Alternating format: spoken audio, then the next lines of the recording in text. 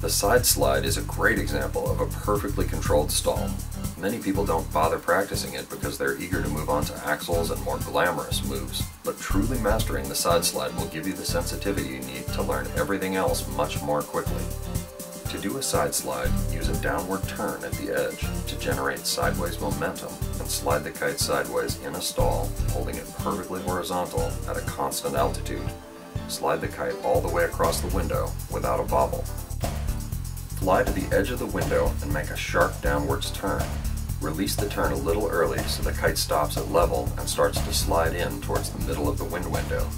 As it slides, control the tension on the lines and the angle of the kite so it moves sideways at a constant altitude and without a wobble. Use fingertips on the line to feel subtle changes in tension. Move forwards and back with your feet to control altitude and be ready to move forwards if the kite starts to fly away.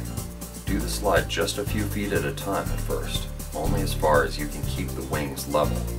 Anticipate the release of the downwards turn so the kite comes out horizontal. Once you've mastered this, try changing direction while maintaining the stall. First float right, then stop, and float left.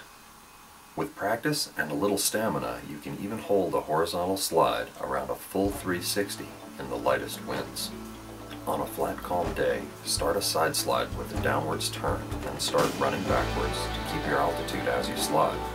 When you get to the edge of the window, just keep running backwards while you guide the slide in the same direction in a full 360 around yourself.